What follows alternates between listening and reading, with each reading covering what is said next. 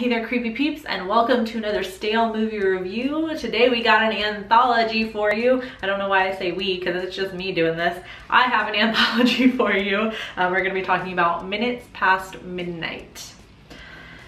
As midnight falls, all manner of terror invades the earth. Demons, cannibals, killers, ghosts, and monsters swarm the world in these tales of supernatural, in these tales of the supernatural. God, Vicky, read much?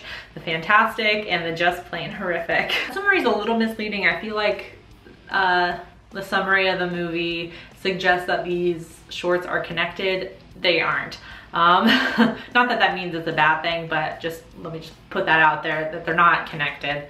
Um, minutes past midnight doesn't seem to be a reoccurring theme. So um, since there are so many shorts in this anthology, there's a total of nine. I'm not gonna analyze anything because it's just so hard to go back and pinpoint all the all the aspects of the different shorts that I liked because they were all done by different directors, writers, that sort of thing. Um, so they they all look different, they all feel different. Not gonna, not gonna worry about it. Maybe if there weren't so many shorts, I would, but there's nine of them, you guys. Um, so I'm just gonna go through and review them, at least the ones that stuck out to me. Um, the first two shorts in this film just did not connect with me at all. I hated them. Um, they were Never Tear Us Apart, uh, directed by Sid Zanforlin and Awake by Francisco Sonic Kim. Um, those two just did not jive with me. They didn't connect. I hated them. Uh, I thought they were really, I thought Never, what was it? Never Tear Us Apart um, was just like really all over the place. Like I just, I think it was supposed to be funny, but I just, maybe it just, maybe that's where I lost it. I just didn't find it funny. Uh, the cutest, cutest short in this was Crazy for You, which is directed by James Moran, and it was starring Arthur Darvill from Doctor Who, if you've ever seen Doctor Who. Um, he was Rory.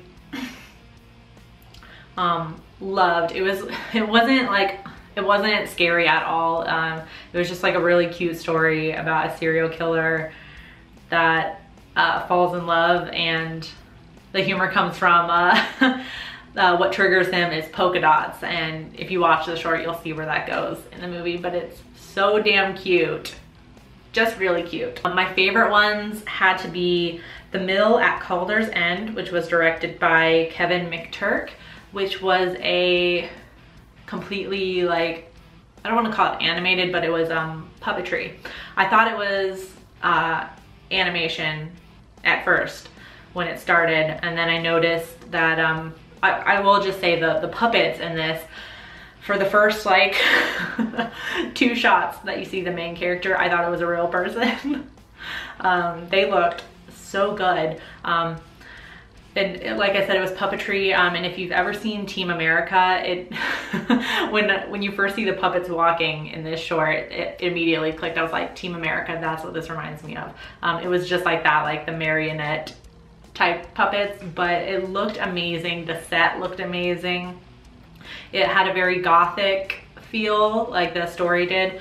Um, and the, the setting and the and the kind of muted colors and everything had like a gothic feel to it. And it felt, um, it felt like an Edgar Allan Poe story that we were watching. Um, I really loved that one.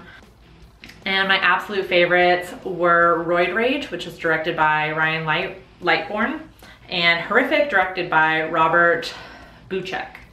Hopefully I'm saying all those right. Um, funnily enough, I always say I'm not into like Giallo films, but this, the first one, Roid Rage, was definitely a play on that. The dubbing was terrible. It was just ridiculous, like blood splatters everywhere. Um, and Roid Rage is not what you what you think it would be. Um, it's not steroids, it's hemorrhoids, um, which if that tells you anything, the entire short was butt and poop jokes. so if that says anything about my maturity level, I found it hilarious. Uh, and then Horrific was another funny one. It definitely had a lot of elements of comedy. It was a chupacabra story, which is awesome. We never get chupacabra anywhere. Um, so I was really happy about that. And it's very um, slapsticky, uh, slapsticky, that's, that's a funny word. Um, and it definitely had a like a Gremlins kind of feel to it. I loved it. so of course I'm gonna recommend you watch it. It's an anthology, so there's something for everybody in there. um, so I'm gonna give it four poop jokes out of five. Um, IMDb is the only place I could really find a rating, um, at least like kind of like the popular sites, you know, popular rating, popular movie rating sites, that's what I'm trying to say, has a 6.1 out of 10.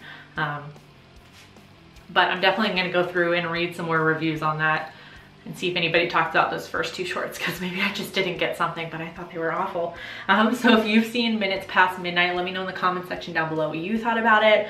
I got this in a horror pack. Cannot remember which one, uh, but it was in a horror pack. Um, so let me know your thoughts on that in the comments section. You can follow me on all my social medias and stuff down in the description box. Thank you so much for watching this video. I hope you enjoyed it. If you're new here, subscribe and become a creepy peep today. And until next time, stay strange. Bye.